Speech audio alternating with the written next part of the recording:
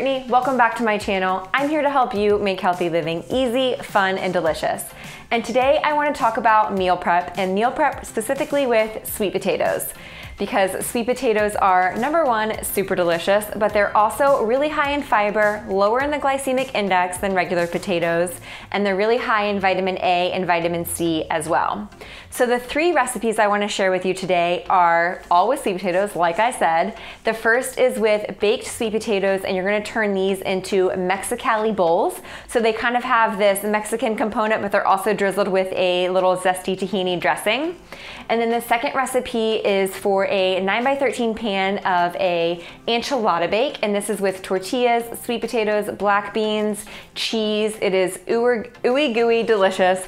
I think that you're gonna really love this, and families love it too.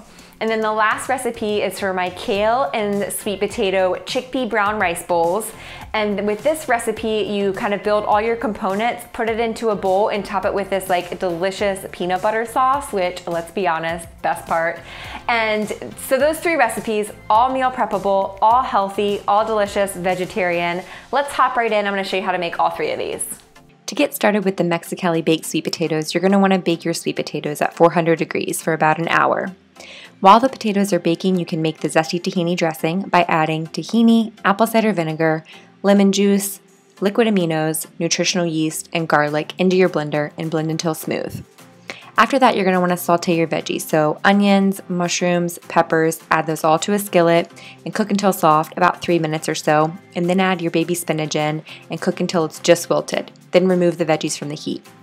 At this point is when you're going to plan, put everything together. So you'll have your baked sweet potatoes, cut those open, mash each side, and sprinkle on a little sea salt and pepper, and then load on the rest of the toppings. You'll have the sauteed onion and spinach mixture, black beans, tomatoes, avocado, spring onion, and cilantro, and then drizzle on the desired amount of the zesty tahini dressing. Of course, if you're going to meal prep this recipe, you can bake the sweet potatoes in advance and make the dressing in advance, and also cook up the veggie mixture in advance and just reheat everything right before you serve it. Next up, let's do the sweet potato black bean enchilada bake. To get started, you're going to want to make your enchilada sauce by adding roasted tomatoes, chili powder, cumin, oregano, cinnamon, cayenne pepper, and sea salt into your blender and blend until smooth. Then grab a large skillet, add avocado oil, onion, and garlic, and saute until fragrant about 3 minutes. Add your jalapeno and sweet potatoes in there, cover and cook for 12 to 15 minutes or until the sweet potatoes are tender. Then add black beans and baby spinach, toss everything to combine, and remove the veggies from heat. Grab a 9x13 baking dish, lightly grease the bottom, and start laying ingredients for the bake. Place four tortillas on the bottom of the dish, add a third of the enchilada sauce, half of the black bean sweet potato mixture, and half of the cheese, and then keep layering until you run out of ingredients. Bake uncovered at 425 for about 20 minutes or until the top layer of cheese is melted. At this point, you can serve right away, or if you're doing it for meal prep, you will just let the whole bake cool and cover it up and put it in the fridge and then reheat it whenever you want to serve. Top with a little avocado, cilantro, green onion, maybe a little Greek yogurt or sour cream, and there you go. Lastly, let's make the kale and sweet potato brown rice bowls. To get started with this one, you just want to roast your sweet potatoes for about 30 minutes. This step is best done ahead of time. Then you want to cook your brown rice according to the package instructions and then make your peanut sauce by blending all the sauce ingredients in a blender until smooth. This includes your peanut butter, garlic, fresh ginger, rice vinegar, low sodium tamari or soy sauce, maple syrup, and cayenne pepper if you like things a little spicy.